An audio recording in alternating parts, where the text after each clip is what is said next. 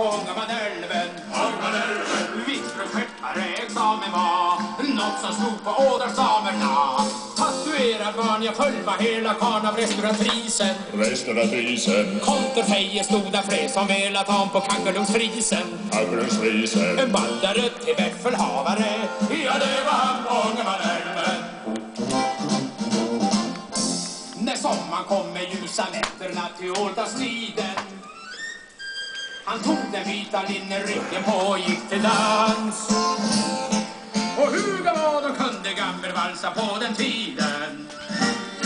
Men vem var bäst och tog ett Norrlandsmästerskap med glans? Jo, han var befälhavare på boxersbåten han på Ångermanälven Ångermanälven Kabelmästaren han var storbelåten han vid Ångermanälven Plötsligt fick Ström upp sin stämma hår. Han och alldeles gratis alldeles gratis. Sen han bjöd på varsin tunnbrödmacka han och mandelpotatis Mandelpotatis, som till befälhavare blir det aldrig mer på Ångermanälven. Som till befälhavare blir det aldrig mer på Ångermanälven.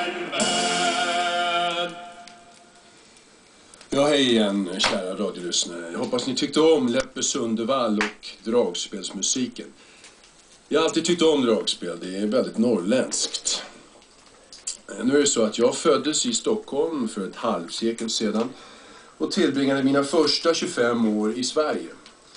Den andra hälften av mitt liv har jag levt utomlands, framförallt i USA och England. De flesta svenskar känner igen mig mest från mina filmer där jag rusar runt med automatvapen, knivar, handgranater, skjuter folk och slår dem på käften. Ja, det har ju blivit en del av det där de sista 20 åren.